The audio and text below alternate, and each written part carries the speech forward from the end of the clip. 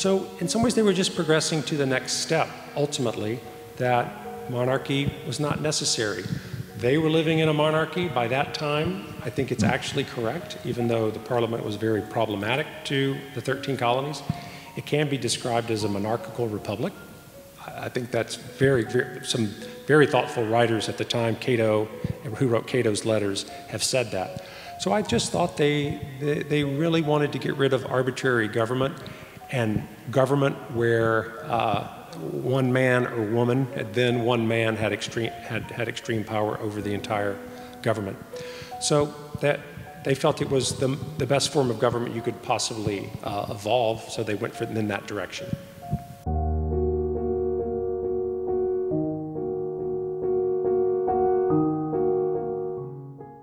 Good evening, everybody. Thank you so much for being here with us this evening. My name is Nat Sheidley, and I'm the CEO of Revolutionary Spaces, and it is my pleasure to welcome you to Old South Meeting House tonight for our program introducing historian Eli Merritt's new book, Disunion Among Ourselves The Perilous Politics of the American Revolution. Welcome also to those who are watching us online through our partnership with the Forum Network, a joint venture of GBH and the Lowell Institute. Here at Revolutionary Spaces, our mission is to bring people together to explore our nation's unfinished struggle to create and sustain a free society as evoked by the two national treasures we care for here at Old South Meeting House and the Old State House, which is located just a couple of blocks down Washington Street. this year, we are commemorating the 250th anniversary of the Boston Tea Party, which began right here in Old South Meeting House. And we're using this important moment as an invitation to reconsider our founding story and its legacies. And tonight's program is a very important and useful part of that programming arc. Uh, if you enjoyed tonight's program and you would like to support our work here at Revolutionary Spaces, I hope you'll consider becoming a member by giving a gift in any amount that is meaningful to you. We have some membership information available at the registration desk where you came in, or it's also available online at revolutionaryspaces.org. And of course, I also want to thank all of our current members and donors, including the Lowell Institute, whose generous support makes free public programs such as this possible.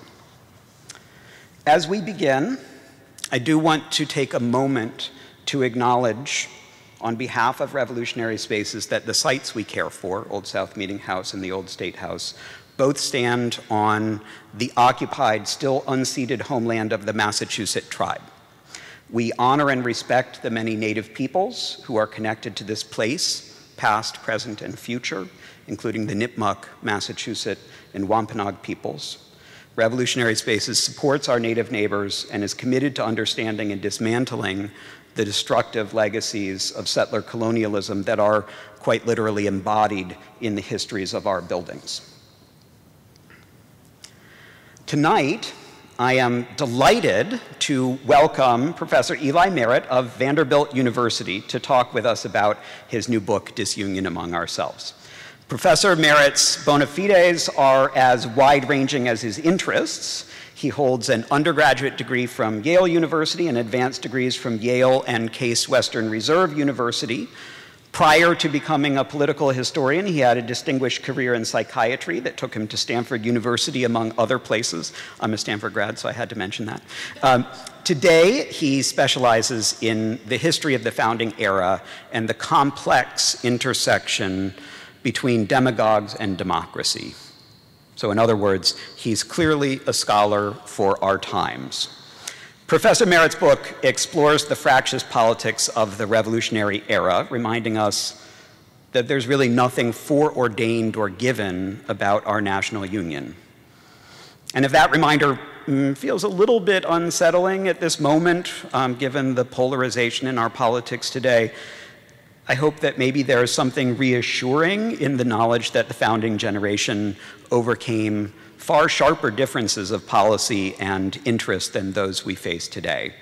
So it's now my pleasure to invite Professor Merritt to come up here uh, and to turn the floor over to him uh, to share this important story and suggest how it might serve as a touchstone for our contemporary politics. Thank you.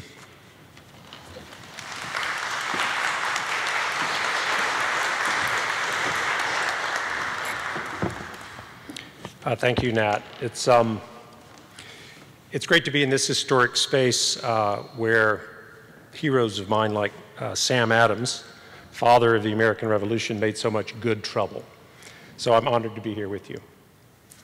Um, I would like to start today by telling you about my approach to historical research. It has a lot to do with my childhood and ultimately my discovery through adversity that fear is the number one driver of human behavior. History, as Nat mentioned, is my second career. Before that, I practiced psychiatry for 20 years. As part of my work, I prescribed medications, but my area of greatest expertise was existential psychotherapy, which is a treatment that focuses on life's most precious commodities, which are finding meaning, finding emotional connection with others, and coping with fear of death. One reason I went into psychiatry was to explore my own emotions, especially fear, as it relates to the death of my mother by suicide when I was six years old. Believe it or not, I, it had no real impact on me until I turned 17 years old and left to go to college. That was when I first encountered the potent forces of depression, grief, and fear that are associated with the loss of this kind. Let's see if we can As I struggled to get healthy during those years, what I found the most intractable, but also the most fascinating, was my own fear. What I feared is that I would end up like my mother. I feared genetic predetermination or psychological predetermination would doom me to her fate. My way out of the maze was to make fear a dedicated object of study. I worked hard for years to become a mindfulness master of my own inner fear. To my good fortune, during my 20s, slowly but surely, I was able to get free of this existential dread.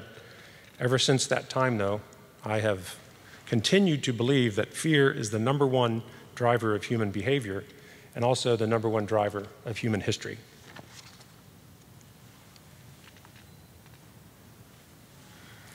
This fear approach to human behavior is also how I went about researching and writing my book, Disunion Among Ourselves, it's about what the founders feared most in their political decision making during the years of the American Revolution. I believe that if we can get to the core content that lit, lit, that lit up the fear centers in the brains of great leaders like Washington and Madison and, and Hamilton and Sam Adams, we will understand the founding of the United States in new and insightful ways. By understanding what they feared, we will move closer to seeing the complex truth of what actually happened during those critical decades of the 1770s and the 1780s. What I discovered in my research is that more than anything else, the founders feared that disunion among themselves would lead to civil wars. If they split apart into separate confederations, they would kill one another on the battlefield. Historians have long taught that the greatest threat to the new American states after the Declaration of Independence was the British Army and Navy, but that is not true. The founders themselves believed that the greatest danger to the American experiment during these years was disunion and civil wars. They considered that a three step chain reaction would be their undoing. First, in the chain reaction, one or more states would secede from the Union. Then, all of the states would separate into separate confederations. Either two of them a Northern and Southern Confederation, or more frequently discussed, a New England Confederation, a Middle Confederation, and a Confederation of the Southern Colonies. Disunion, however, was not actually the problem.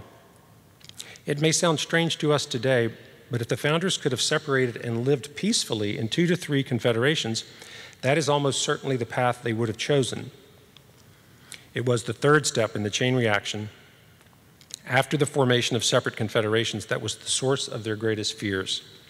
If disunion happened, there would be civil wars over finances, commerce, and most of all, land.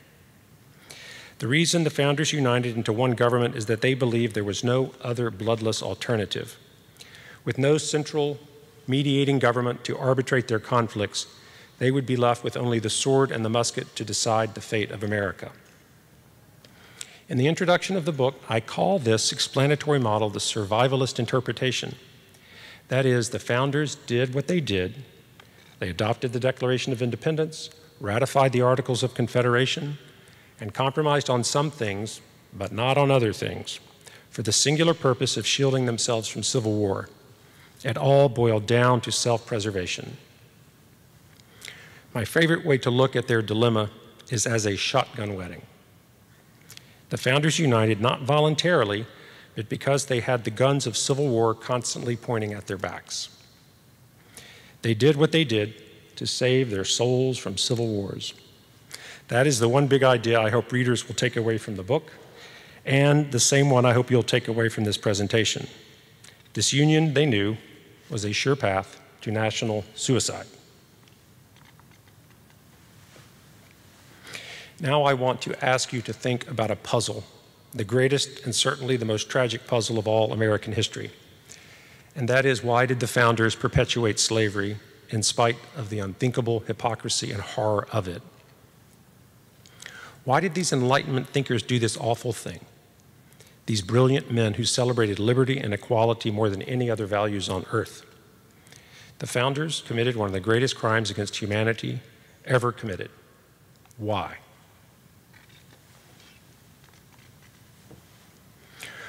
Why they perpetuated slavery is the most profound question we will discuss today. But first, let's look at what the survivalist interpretation means for us today as we look back on the 1770s and the 1780s. Does this interpretation cast the founders in a new negative light or in a new positive light? To me, first and foremost, the survivalist interpretation reveals new truth about the founding period, and that is what matters most in a democracy, seeking truth for truth's sake.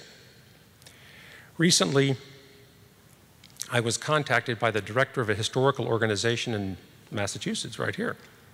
He had just started reading the book. We had been on the phone for less than a minute when he said, quote, your book scares the hell out of me. Like, thanks a lot. He went on to explain the reason, saying that he now fears that disunion and civil wars might be written into American DNA. In a way, he's right that the book contains ominous content.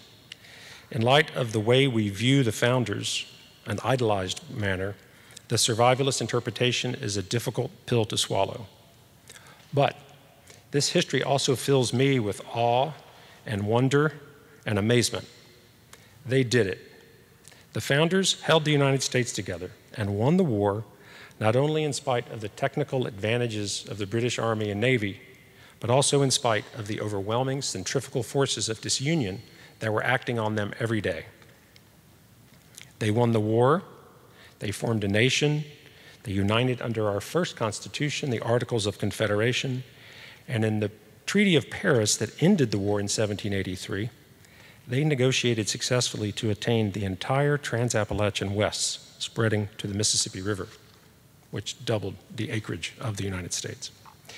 Historian Edmund Morgan has called the peace treaty that ended the War of Independence the greatest diplomatic victory the United States has ever achieved. In most regards, this new history doubly transforms the founders into heroes. They're heroic once for winning the war, and twice for remaining united despite the tremendous odds.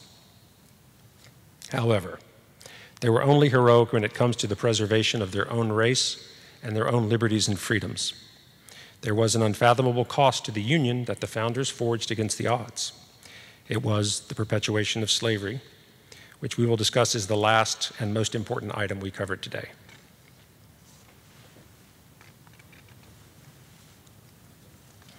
Let's next look at the specific fears of civil wars of four delegates who attended the Continental Congress. What kinds of civil wars did they foresee? Who would fight whom? Why and when? This dapper gentleman here is John Witherspoon. At the time he served in Congress, he was considered to be one of the most brilliant men in America. He was president of the college later named Princeton, and he was the colony's foremost scholar of the Scottish Enlightenment. Let me read to you from a speech Witherspoon delivered in Congress in response to assertions by many delegates that the 13 states should only loosely associate themselves as allies during the war, not as permanent members of a durable and lasting constitutional union. He warned with all the vehemence he could muster that the 13 states must unite into one perpetual government because if they did not, the War of Independence was going to be, quote, only a prelude to a contest of a more dreadful nature, and indeed much more properly called a civil war than the one in which we are engaged today. Why, Witherspoon asked, should the citizens of the American states expend their mutual treasure and blood in the 1770s seeking to obtain independence from the British, quote, with a certainty as soon as peace was settled with them of a more lasting war, a more unnatural, more bloody, and much more hopeless war among the colonies themselves. Civil war among the states, that is what Witherspoon feared and he was certain it was going to happen if the original 13 colonies did not permanently unite into one government where they could peacefully settle their differences. Witherspoon said all this, but he did not mention what would cause the great civil war he was describing or who the belligerents would be. Another prominent American delegate, Joseph Galloway of Pennsylvania, gave a much more concrete answer to the question what would the Civil War of the future look like? Galloway was also an erudite, highly intelligent political leader. He was a veteran of colonial and ministerial politics from well before the Stamp Act. He served as Speaker of the House of the Pennsylvania Assembly for eight years, and he was a close friend and frequent correspondent of Benjamin Franklin. In a widely distributed pamphlet published in the first year of the war, Galloway warned Americans that they should never even launch into independence, because if they did, the loss of the supreme arbitration powers of Britain would bring forth two subcategories of civil wars, both geographic types of civil wars. One would be land wars between colonies, and at some point in the future, there would be, he predicted, a bloody conflagration between North and South. Like so many other observers of the American scene in these years, Galloway considered the British Empire to be a vital protector of the vulnerable agricultural southern colonies. Shorn of the mediating control of the king and parliament, he said there would come a time after independence when, when the maritime northern colonies would invade the southern ones. Here's what Galloway wrote. Once the states became independent, quote, the northern colonies, inured to military discipline and hardship, will in all probability be the first to enter the list of military controversy, and like the northern Saxons and Danes, they will carry devastation and havoc over the southern, who, weak for want of discipline and having a dangerous enemy within their bowels, must, after suffering all the horrors of a civil war, yield to the superior force and submit to the will of the conquerors. Is this what Galloway envisioned a civil war between the North and South, where the South would lose due to a dangerous enemy within its bowels? That is, enslaved black, black Americans who would rise up and join the Northern effort in order to gain their own liberty and freedom? Galloway didn't fully specify, but I believe the emancipation of enslaved people is something that Galloway and others imagined might happen when and if a major civil war broke out. This is John Dickinson. This will bring us close to the heart of New England. Dickinson also feared independence would lead to disunion and civil wars, but he foresaw a different dividing line. Dickinson disagreed with independence so much that he refused to sign the Declaration of Independence. But he remained a patriot and did end up signing the Constitution in 1787. Here we have New England, where we are now. What Dickinson envisioned is that after a successful war of independence, New England would secede from the Union and then make war on New York State in order to gain control of the Hudson River. Looking into what he called the Doomsday Book of America, Dickinson conjectured that New England would break off from the American Union within 20 or 30 years after independence. It would then invade New York, and that would be the start of a massive civil war, he said, that was too dreadful to contemplate. Why was there so much fear of New England? One reason is that New Englanders were famously, at that time, hardy and united. Another is that they were a seafaring people. They were sailors, captains, shipbuilders, rope makers, and cod fishermen. That meant that they, with much greater skill and efficiency than any of the other states, could build up a formidable navy, which was, of course, the linchpin of imperial power in the 18th century. That's one reason. Everyone was very afraid of New England. The Hudson River is a glorious commercial artery that is located solely within the state of New York. It's approximately 50 miles from the border of New England, and it was very frequently discussed as a flashpoint where civil war would start. Another American who observed the danger surrounding the Hudson River was Charles Thomson, a Pennsylvanian who served as the Secretary of the Continental Congress throughout the entire war. As the official scribe for everything that was said and done in Congress, no one understood the political dynamics of America better than Thomson. In a series of letters to his wife, whose name was Hannah, Thomson acknowledged towards the end of the war that he thought it highly improbable that the American Union would long survive. When I look forward, he wrote to Hannah, I see a dark cloud and gloomy prospects for America. Instead of one union, Thomson predicted that there would be calamities leading to the formation of three or four separate American confederations. One of the confederations that would form, he forecast, was composed of the New England states, but there was always the problem of the Hudson River. Like Dickinson, Thomson felt confident that New England would not rest until they gained control of that vital waterway. That meant that New York was either going to have to join the New England Confederation willingly or there would be war. For the purpose of securing the Hudson, Thomson said, quote, New York will be compelled to join this confederacy either voluntarily or by force. Thomson also predicted civil wars in the Trans-Appalachian West because a middle confederation of New Jersey, Pennsylvania, Delaware, and Maryland, most likely, was going to form both for self defense and to expand westward over the mountains into the lands above the Ohio River stretching towards the Great Lakes. But there was a problem here as well. In the Trans-Appalachian West, the Middle Confederation was going to encounter fierce resistance to its westward expansion by the next nation that Thomson said would rise up in America. It was the Confederation of Virginia all by itself. The massive and most wealthy colony in America claimed almost all the territory across the mountains, beginning with its Kentucky territory, northward all the way to Canada. And when these claims were encroached by a Middle Confederation, there would be war. Thomson also envisioned that, envisioned that the nation state of Virginia might be a monarchy.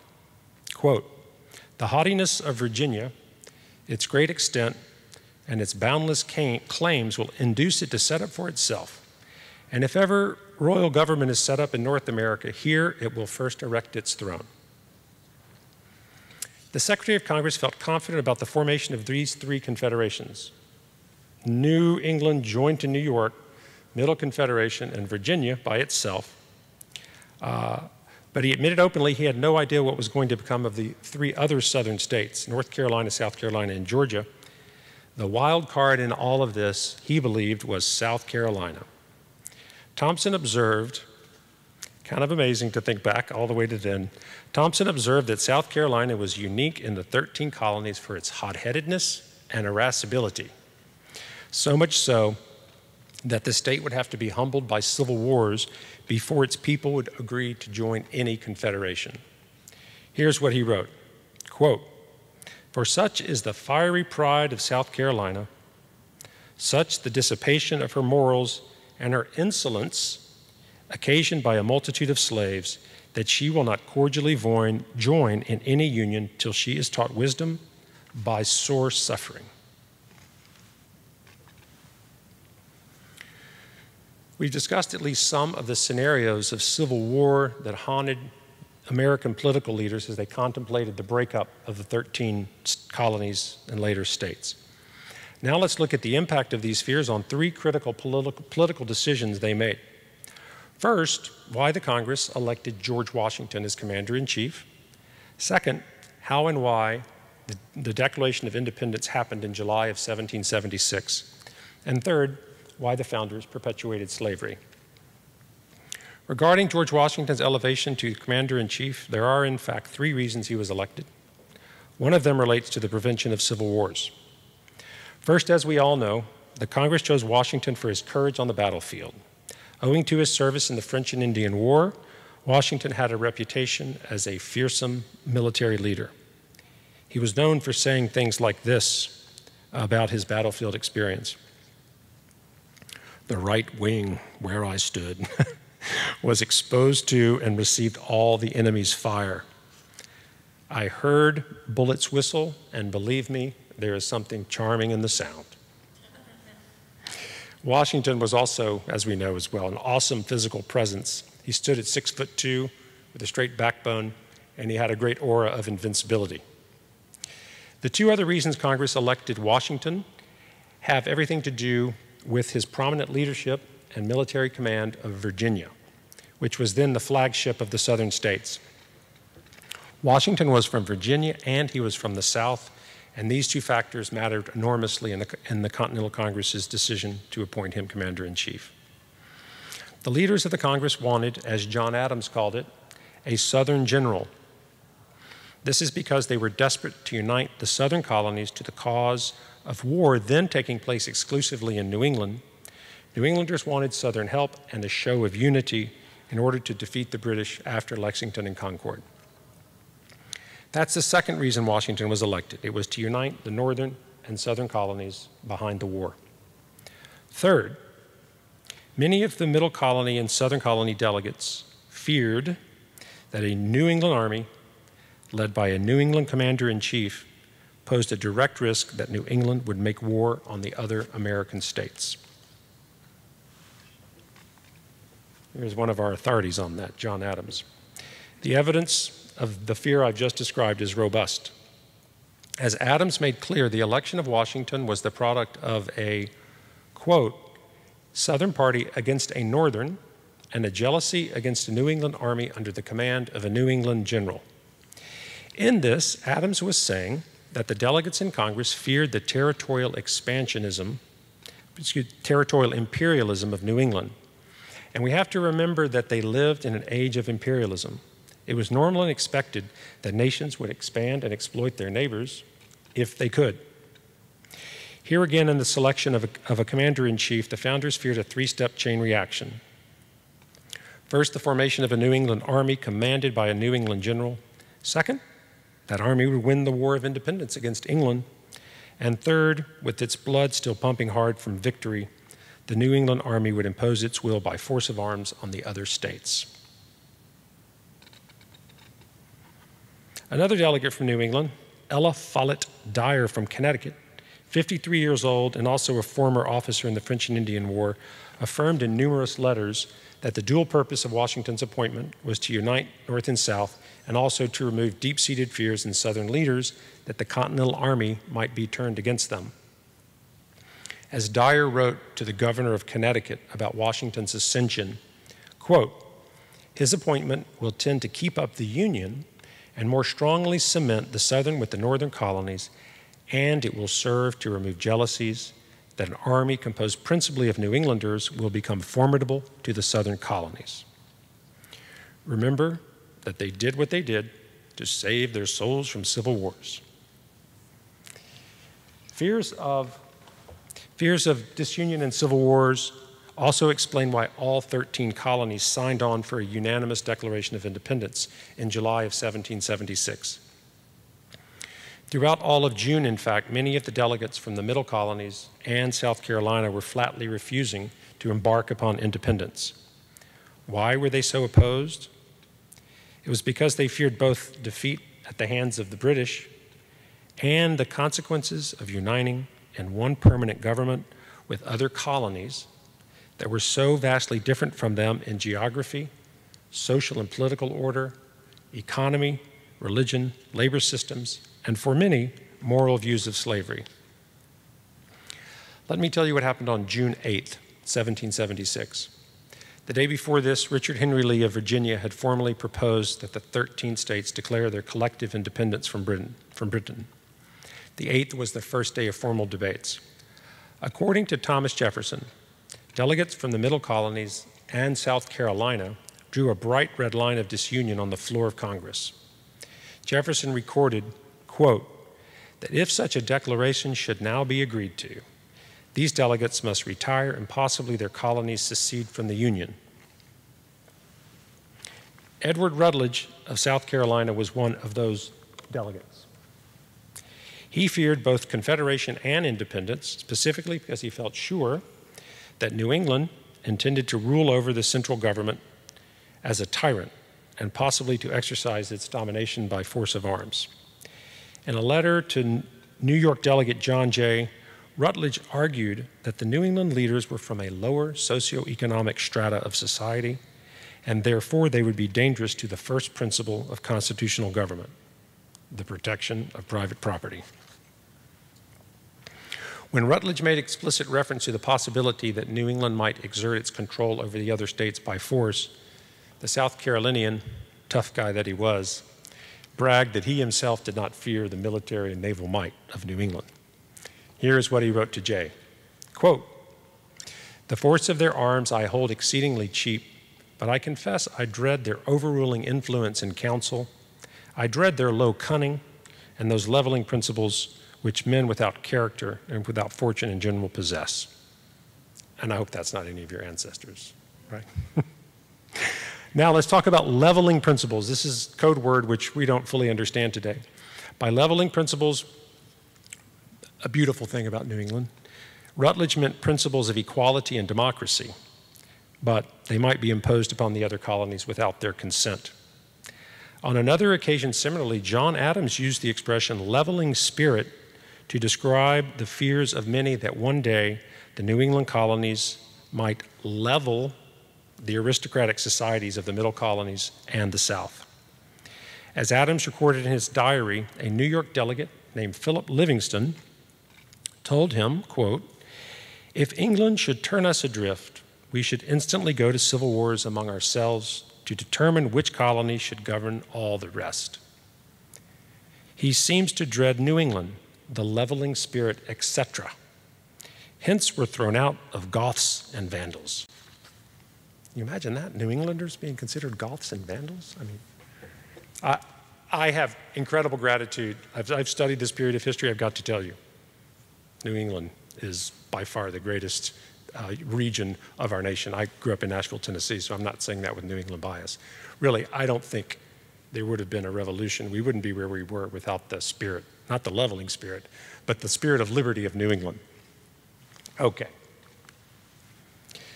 Let's look now at the special dilemma that the middle colonies faced in 1776. The map tells the story because if New England and most of the southern colonies declared independence without the middle colonies, those in the middle would be caught in an impossible military situation. The middle colonies, as the name implies, are squeezed geographically between New England and the southern colonies, and that meant big trouble if they attempted to remain in the British Empire at the same time the two regions flanking them declared independence, swearing that they would fight until the bitter end. If the middle colonies did not aid New England and the southern colonies in their war of independence, critically allowing free passage on roads and rivers, as well as supplying their armies, chances were that Pennsylvania, Delaware, New Jersey, and New York would become the worst fields of blood in the expanding Civil War. I mean, the Imperial Civil War there. One that would now pit the middle colonies against New England and the southern colonies. When Congress first considered independence on June 7th and 8th, the question was simply too hot to handle.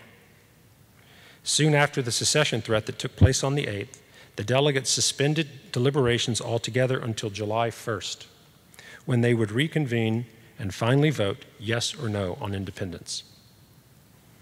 Monday, July 1st arrived, and what happened? The colonies voted, and the outcome was disastrous. Only nine colonies cast ballots for independence. Pennsylvania and South Carolina voted no. Delaware divided, rendering its vote null and void, and New York abstained because it lacked permission from its assembly either way. This was a day of extraordinary peril because by now, die-hard Virginians and New Englanders, for sure, had no intention of backing down on independence. And as the vote demonstrated, a supermajority of Congress, nine colonies, were ready to move to independence immediately. So, the middle colonies in South Carolina were left with a life and death decision. Were they going to let the vote of July 1st stand and go their own way, perhaps asking to join the new United States at a later date?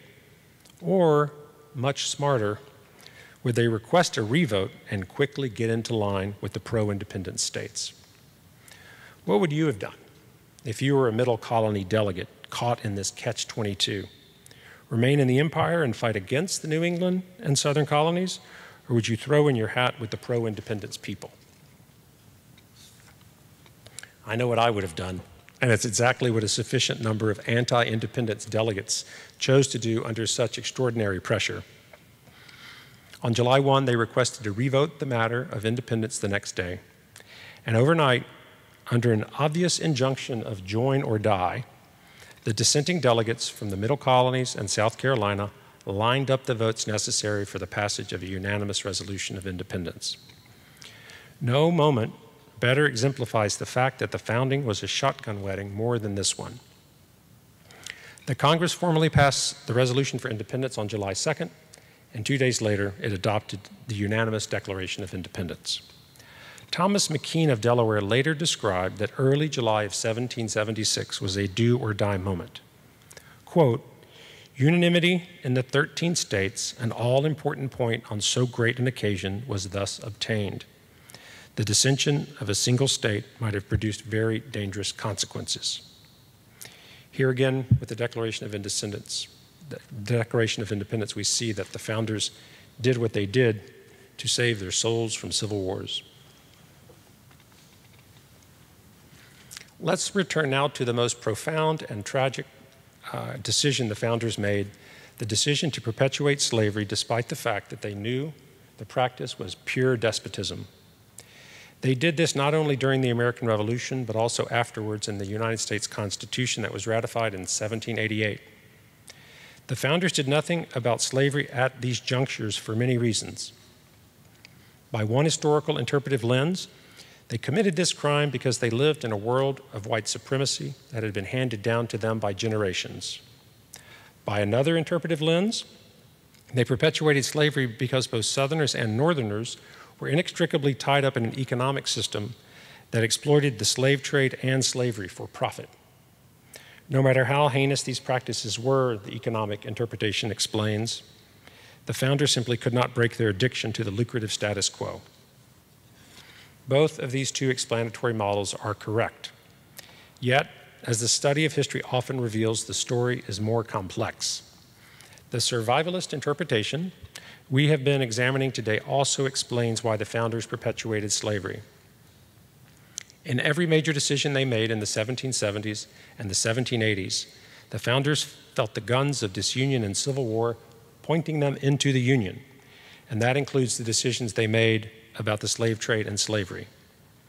If any northern state at that time had demanded that the collective United States abolish the slave trade or adopt even a gradual plan for emancipation, one or more southern states would have seceded from the Union, others would follow. Next, they would form a Southern Confederacy, and after that, civil wars over finances, commerce, and land would ensue. In perpetuating the slavery, in perpetuating slavery, the founders made what I like to call a devil's bargain, meaning that they knew they could either advance a federal program for liberating black Americans from slavery, or they could secure freedom from civil wars for themselves. They chose the latter, self preservation, with vast and tragic consequences for the future of the nation they began. All three of these interpretations the white supremacist interpretation, the economic interpretation, and the survivalist interpretation are correct.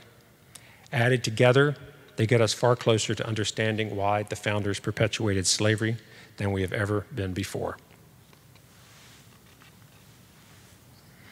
Let's begin to wind down by returning to the brain and the extraordinary influence of fear on the lives of individuals and on the lives of nations.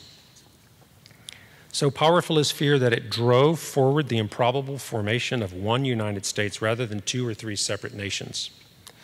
So powerful is fear, tragically, that it overwhelmed the consciences, the compassion, the caring, and the moral sensibility of the founders to the point that they perpetuated slavery decade after decade after decade.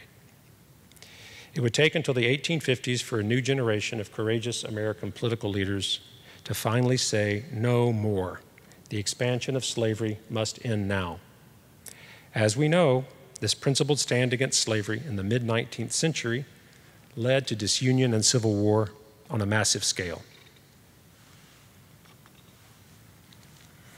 Finally, I want to celebrate complex history and complex truth. Not simplistic history, not one dimensional truth, but multidimensional understanding of complex phenomena, just like why the founders perpetuated slavery. Complex history is so important in a democracy because it's the most powerful medicine I know for maturing us as individuals and for maturing us as a society. What happens when a person only accepts a single simplistic interpretation of the causation of something as complex as why the founders formed one nation or why they perpetuated slavery? It narrows your mind. It makes you righteous and divisive, and it makes you a force for polarization, tribalism, culture wars, and history wars. On the other hand, if we challenge our brains to accept the white supremacist interpretation, and also the economic interpretation and the survivalist interpretation. That is, if we take a and both approach rather than an either or approach, we grow emotionally and intellectually, and in doing so, we help our democracy survive and thrive. This dynamic salutary effect of complex truth on our minds and on our democracy is one reason I love history so much. It's also why I believe that we as a nation should teach history in grades K through college with the same priority, intensity, and vigor as reading, writing, and arithmetic. Thank you.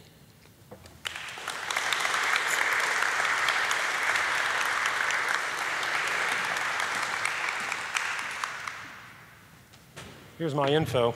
I, I love feedback from people. I, I grow and, and develop. I've written some op-eds that have earned me a lot of hate mail, but I also get a lot of uh, fan mail too. But so if you have any comments for me, recommendations, reach out. Thank you so much, um, Professor Merritt, Eli. Um, we are going to sit down and uh, spend a little bit of time uh, in dialogue with all of you. Um, so I'm, I'm going to open the floor to questions and comments in just a moment. Um, but while you are all formulating your thoughts, I thought I'd just begin by asking you a couple of questions just to kick things off. Um, so it's a, it's a fascinating way of thinking about the founding era. Um, and I just I want to start uh, in that era, um, in in the 1770s and the 1780s, and and um, and ask this question. So you've you've painted a picture for us of a world in which um, folks are surrounded by the fear that there are folks over in those other colonies who are you know, they're surely out to gain supremacy over the interests of my colony or, or my region. Um, and I, I wonder, um, because what you haven't done is paint us a picture of folks who actually were conspiring in that way. Um, were these fears founded um, or were they purely imagined? And does it matter? um, this is on, yes.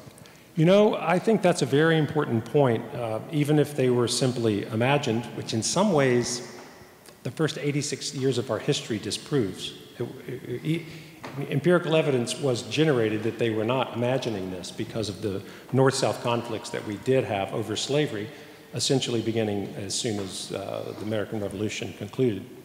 Um, but no, there were real troublemakers. I didn't bring up today a, a man named Thomas Burke from North Carolina, who, when he first arrived at the Continental Congress, he wrote a letter that is so revealing.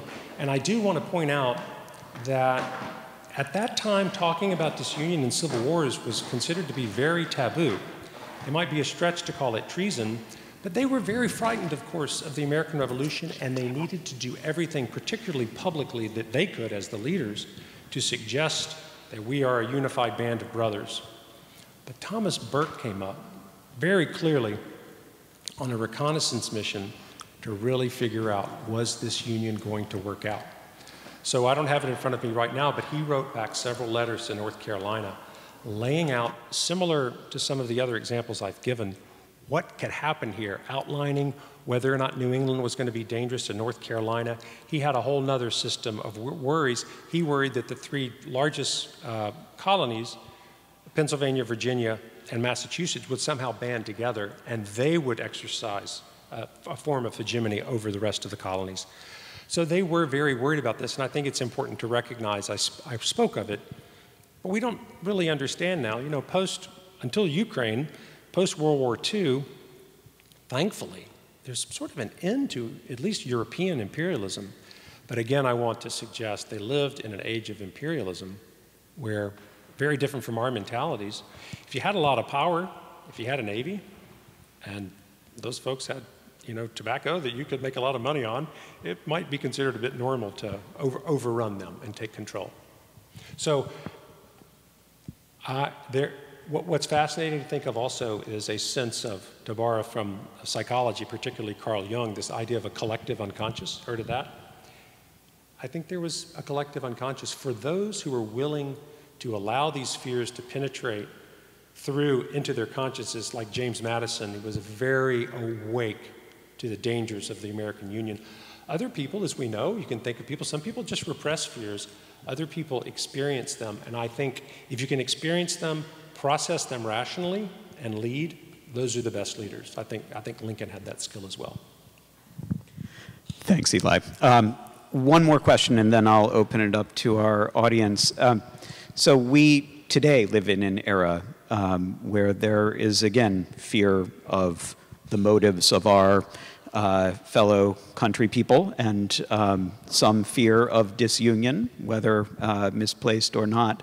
Uh, as you were writing this book and also living in our fractious present, um, what lessons did you see here that might illuminate uh, what we experience in our political life today?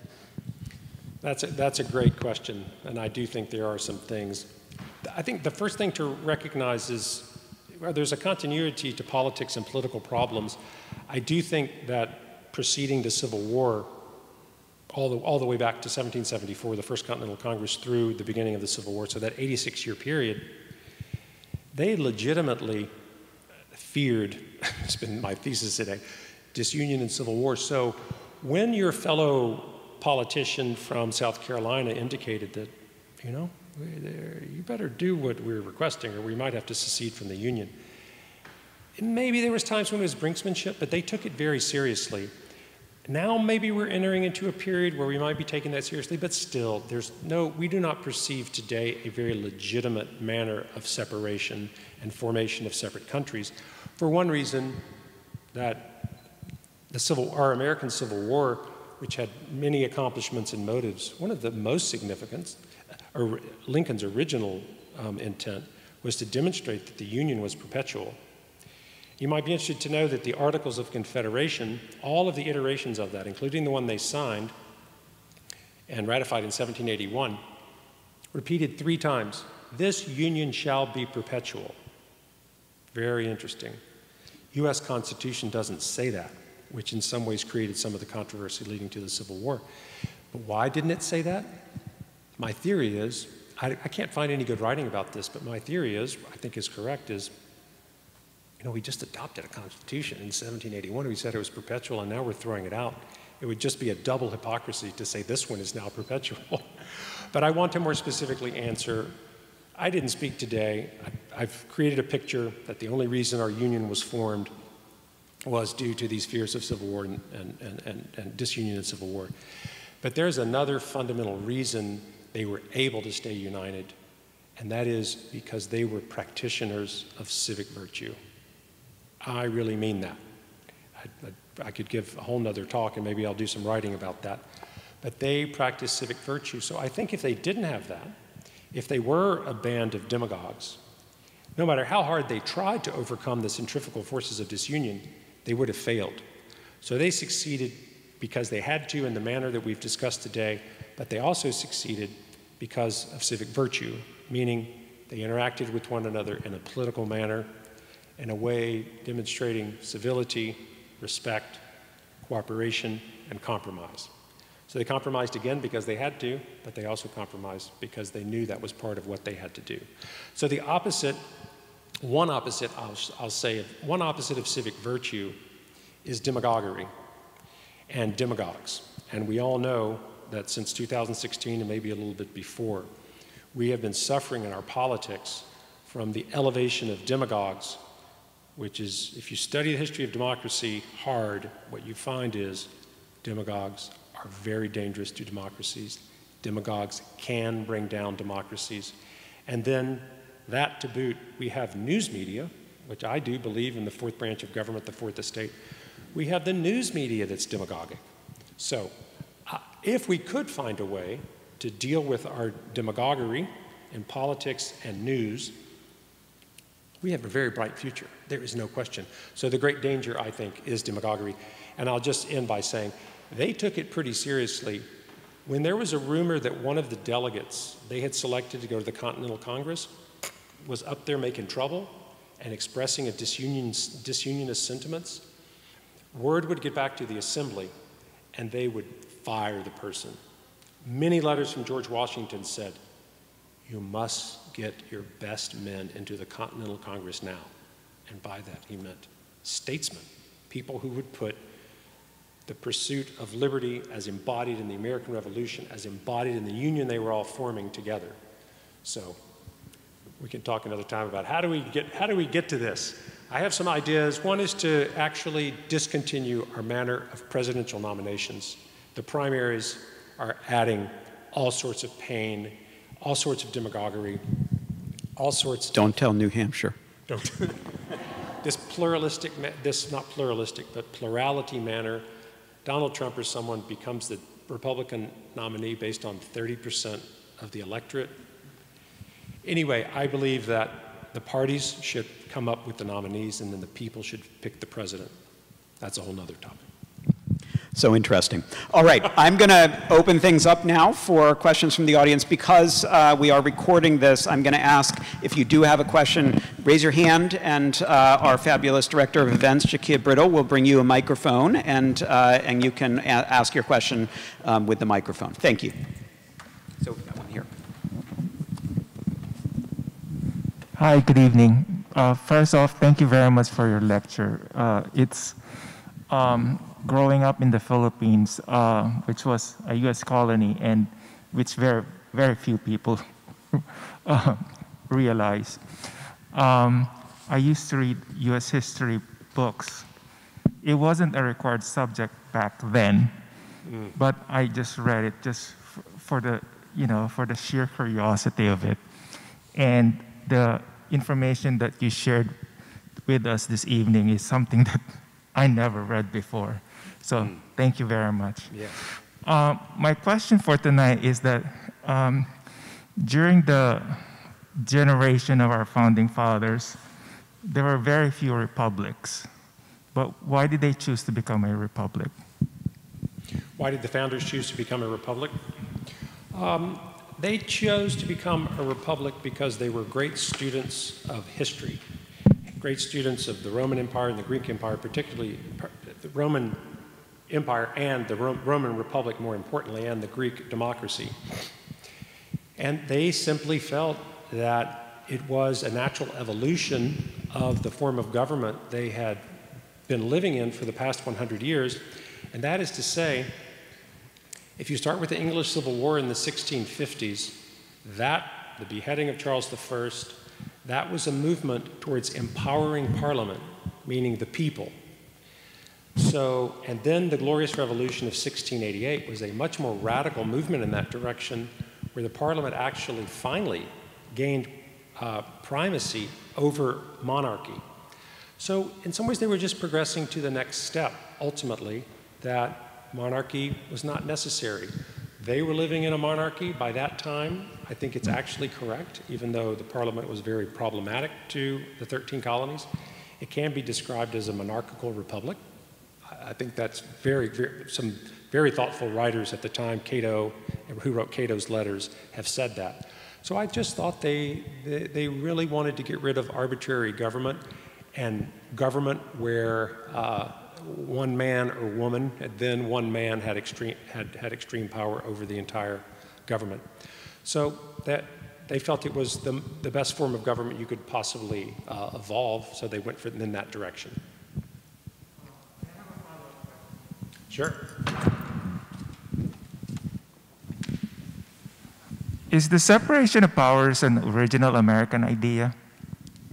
Separation of powers? Uh, no, I, you know, if you really look at it, the separation of powers informally has certainly been present since the, the Roman Republic, but most critically, the, uh, the spirit of the laws by Montesquieu, published within 50 years or so before the American Revolution, if I'm thinking correctly, it clearly embodied the principle of, the, of separation of powers more than any other book. I'm not sure if John Locke touched on that or not, but it was pretty well established that you needed, we needed checks and balances and to suddenly rush forward to where we are today. That's why I believe that we need to reform our presidential nominating system because all aspects of government and politics need checks and balances. And so what we did, some of you are of adequate age where you might remember uh, the reforms of the 1970s. That's when we opened up primaries and removed the political parties as a check and balance, check and balance on who would evolve uh, into the presidential pipeline.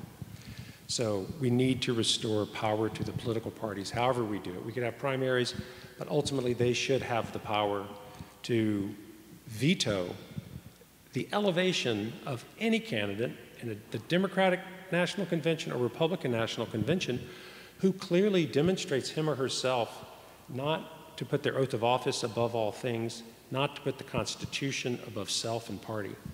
So we're in some trouble there with our presidential nominating system, and I really hope we will wise up and, and, and, and, reform it. So that's a form of checks and balances more than separation of powers, but it's intimately connected to what you're asking.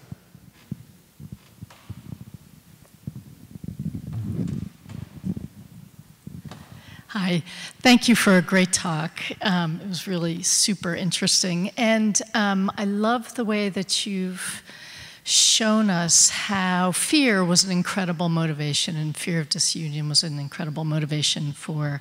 Um, the, for the politicians of the, of, the, of the revolutionary period. But I'd love to hear you talk a little bit more about um, the deployment of fear or the fomenting of fear as a way of motivating the population. Um, particularly since, as you talked about demagoguery, that's what demagogues do, right? Is that they create um, some sort of thing or person or group of people to be feared as a way to get you to, as a way of persuading you to their side. So I just wondered if you could talk a little bit about any, um, uh, about the, the role of the fomenting of fear during the period. My, my thought when you say that is that, of course, we know there are real fears and then there are manufactured fears. So George Washington standing up with all the civic virtue that he embodied and saying, ladies and gentlemen, we have a great, great danger approaching us. And that is that in the passage of the coercive acts after the Boston Tea Party, the British Parliament has demonstrated that our liberties are unsafe. So I want you to arm with me to defend our liberties and freedoms. Well, that's not demagoguery, but that certainly is telling people there's danger and I need you to step forward and give up your life for our country, for liberty and, and constitutionalism. The difference is, again, as we've so beautifully uh, experienced evidence in the past seven and three quarters years, not being specific in any manner, is demagogues raise up a tidal wave of fear for the self. For the self, to gain the limelight or to gain power. So that's, I think, the dramatic difference there. That if one way to think about it is this is this speaker speaking to me of fear and perhaps trying to motivate me and trigger fear within me for my own benefit and for the benefit of future generations? Or is this individual standing up and doing this with demagoguery for self benefit?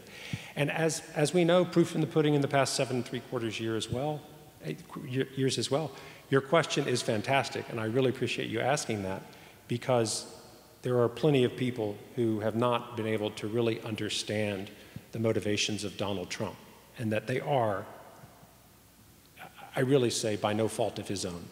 Because as we know, I'm a psychiatrist, and he's got a developmental history that made him the way he is. By no fault of his own, this is how he goes about trying to gain a sense of emotional satisfaction and grandeur and grandiosity. So, but we as the people, and even a bit more, the leadership of the Republican Party needs to constantly be reminding us I think Trump, as a demagogue, I've written a piece in the LA Times, I called him the supreme American demagogue. Uh, it's very dangerous, it's been frightening for many, um, but I think it's the most wonderful learning opportunity we have to truly understand how democracy works. And so, in that spirit, with the former Chancellor Vanderbilt, I'm happy to be teaching a course in the spring called How Democracies Thrive.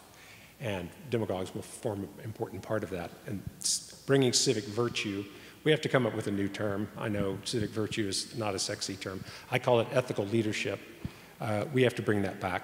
And, all, and I hate to say this, all our problems will be solved if we do that. I hate to be simplistic because I believe in complex history, but I do believe civic virtue is a glue that can really uh, bring us back and lead us into perhaps another 250 uh, years of positive history. So optimistic. Uh, we have a question here in the front row. Thank you. Thank you for a wonderful talk and congratulations on the book. Uh, can you go back to the Continental Congress and why? Um, I mean, like, if there was a Winston Churchill, we have nothing to fear but fear itself, I think that's, that's, that's what he said. Did anyone bring it out into the discussion that you, you have fears of the New England invasion or the domination by, you know, a confederation of Virginia and New England?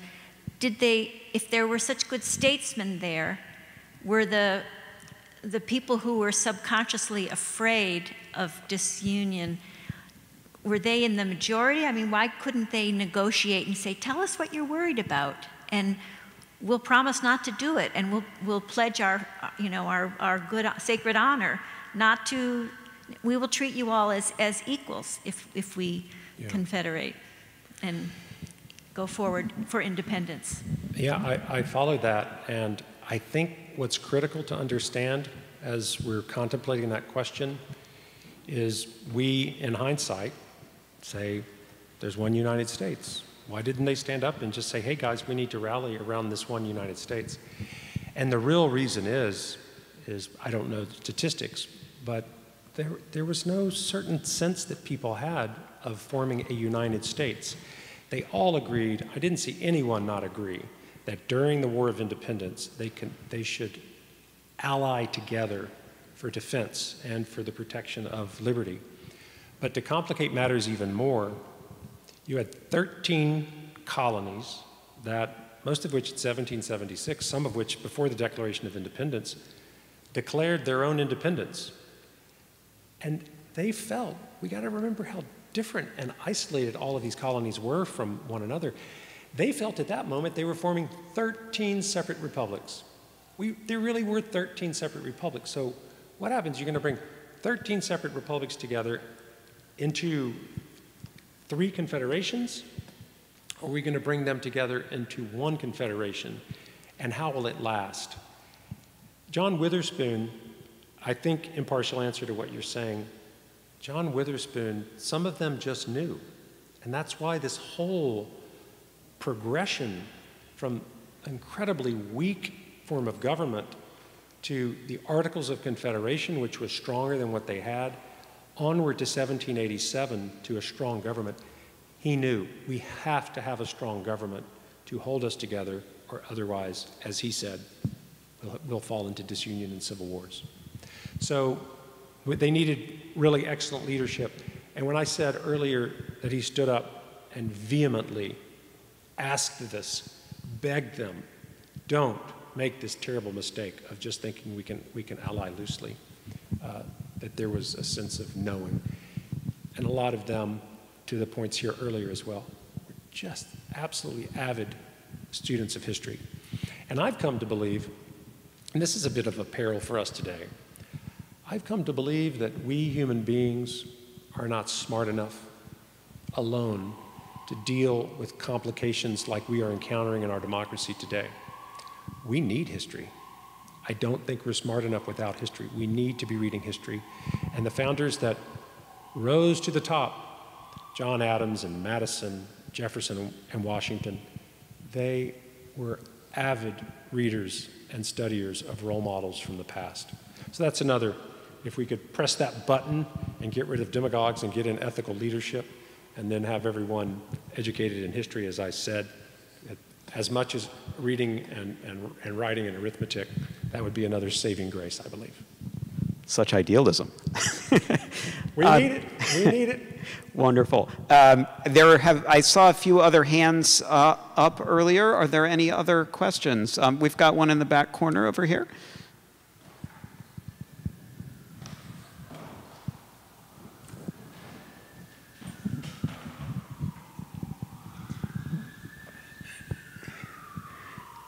doing the problem of conciliating all the people and getting them together, I was taught that um, Ben Franklin was the most influential mediator, but I'm not sure, and I'd like to get that clear in my mind. Which persons were really able to convince New York and these other delegates who, who uh, didn't want to vote for the initial union? Thank you. Good question. So, in 1775, you know, Ben Franklin was essentially kicked out of London, and he, and he got on a boat and he came back to Philadelphia. I think he'd been absent for 15 years. And they immediately appointed him as a delegate to the Continental Congress. I think he had a couple of weeks. And so he goes, I don't know where it is, he goes up to his studio and he gets to work writing a constitution. So here is another, you're right, conciliator, but also just intelligent. or I'll say constitutionally intelligent. You may know that he tried to bring about the first constitution at the Albany, Albany Congress, in, Congress in 1754. But so Franklin draws up this constitution, I'm sure, for every reason that we've discussed today. And he, so he comes to now the Second Con Continental Congress uh, after Lexington and Concord. And he's a smart guy, and he meets Thomas Jefferson, and he shows that Thomas Jefferson says, We're going to really need a constitution here, we're going to get in big trouble. And Jefferson says, I agree. But he said, Do not propose a constitution now. Don't do it. I'll tell you why. It's too much of a Pandora's box. We need to unite behind this war only. If you start talking about how we're going to represent the people, and we talk about slavery, you're going to blow this thing up. You're going to blow us up by trying to introduce a constitution. You are going to cause so much fighting that we won't even be able to unite behind the war. That is so interesting to me. So Franklin, you know, he's an independent thinker. He's not going to just follow the directive of some upstart like Thomas Jefferson. He actually, towards the end of the Second Continental Congress, stands up and he says, something, I paraphrase. I would like to propose to you, the rest of my fellow Americans, as we embark upon this war, an idea.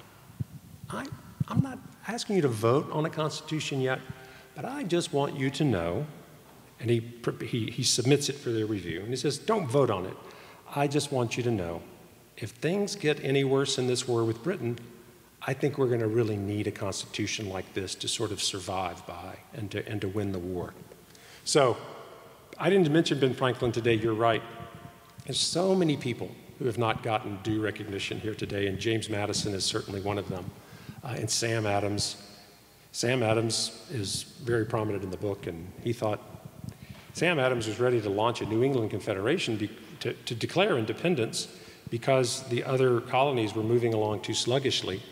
Um, and that was not an act of treason. He just wanted to save his own people. So, Franklin, I could also tell you in the book, also, I describe the Treaty of Paris, uh, which was finalized, of course, in 1783, and the way that John Jay of New York, John Adams of Massachusetts, and Benjamin Franklin handled a very challenging negotiation in which they had to pursue Northern interest and Southern interest, because if they went home and they only got, for example, New England's access to the Newfoundland fisheries, they didn't get the Southerners' western lands to the Mississippi or the navigation of the Mississippi River. The worry was this, they present this Treaty of Paris, half the country would say this is totally unfair. It's obviously biased towards New England or the South. So Franklin is an absolutely magical character. I agree with you.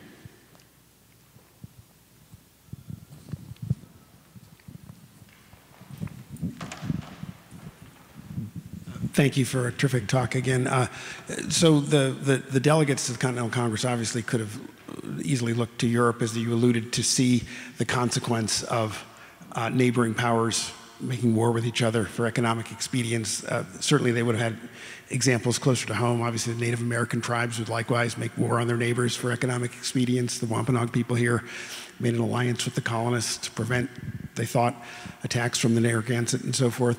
But I wonder, um, there was also, of course, the positive example of the Iroquois Confederacy in terms of the ability of a confederation under a democratic government to, in very practical terms, prevent war. These five nations, of course, had been making war with each other, and, and that was, of course, uh, an amazing and I, I dare say successful experiment that predated our Constitution. Did that understanding figure into the thinking that you described in some of these quotes of these delegates?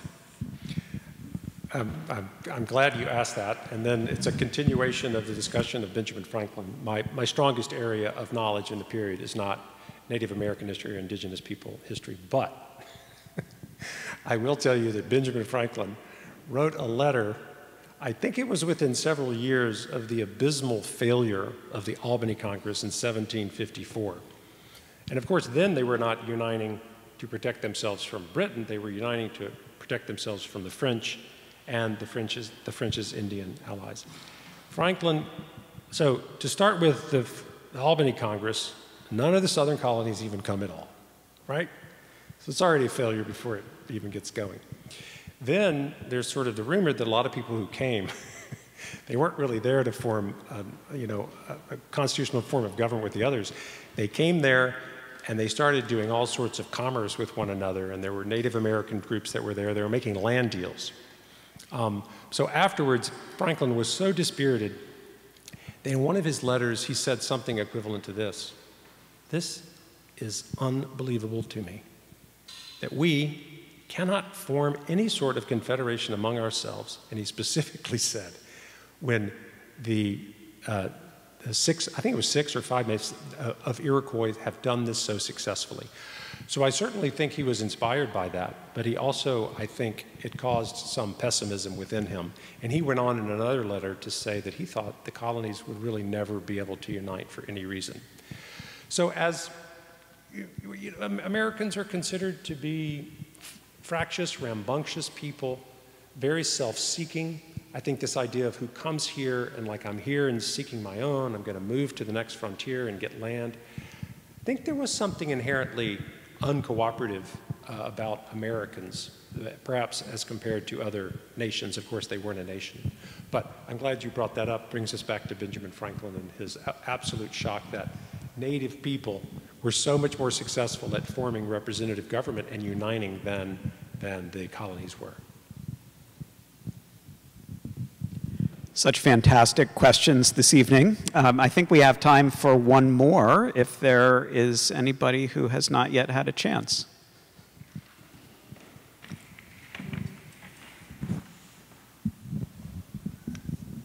I loved your talk. It was uh, very interesting about the, the fear aspect of forming our country. Um, but I've always maintained, in my head anyway, that, uh, and you could probably you know, give a thought to this, at what point in history uh, have so many great people been able to get together to do what they did?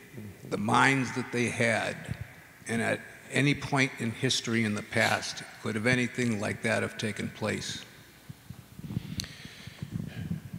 I, that's a great question, and I think we're at a juncture in our historiography or the way we're looking back at the past where, for better and for worse, we're not idolizing the founders in the way we've done in the past. So that would, in some ways, open us up to actually begin to explore wait a minute, how did, there were, you know, 2 million people then, 1.5 uh, million white people who would therefore perhaps in some ways be more eligible uh, for leadership. Um, so the question is, how did they rise to the top? Or were all the political leaders in the 13 colonies of this type of caliber? The answer to that is definitely not.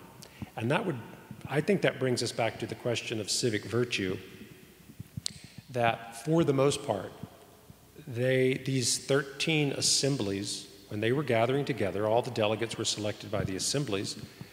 They were selecting the folks who would go up to the Congress.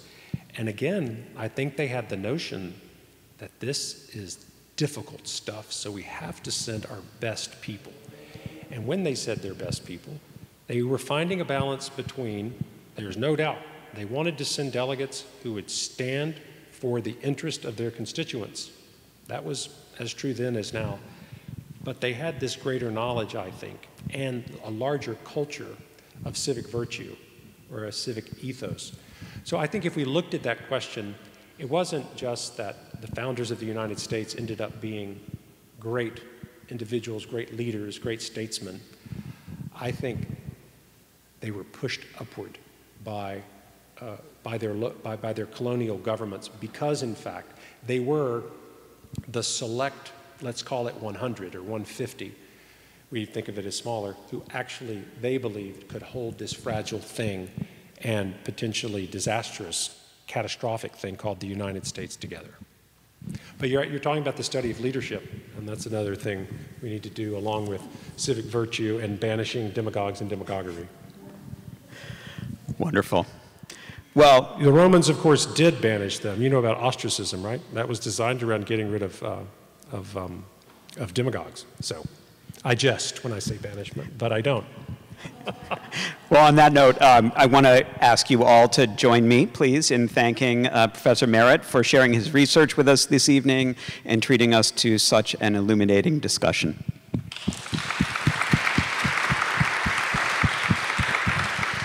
Um, and thanks also to all of you for joining us tonight, whether here at Old South Meeting House or online with the Forum Network and asking such fantastic questions. Uh, I do hope that you will return uh, frequently to our spaces for future programs and events throughout this anniversary year and beyond.